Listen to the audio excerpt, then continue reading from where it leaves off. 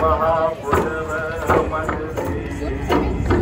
තනු පටියකට ජඩවැට ළඟ වෙරදරායේ ජගඩවැට ළඟ වෙරදරාගෙන තොරුන් රඟ ආපින්වලත් ඒ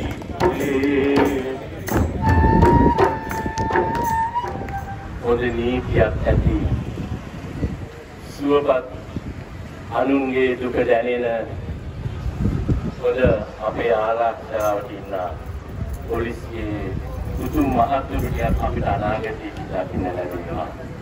හොරකම නැති. අපේ අහිංසක අපි මොන වරදක් කරාදද මේ දැන් මේ දුක විඳින්නේ? අපි මොන වරදක් කරාදද මේ දුක? ඇයි මේ ආරක්ෂා කරන පොලිසිය අයට මේක බිලක් ගන්න තේරෙන්නේ? हजुर यही नै म ग्यादर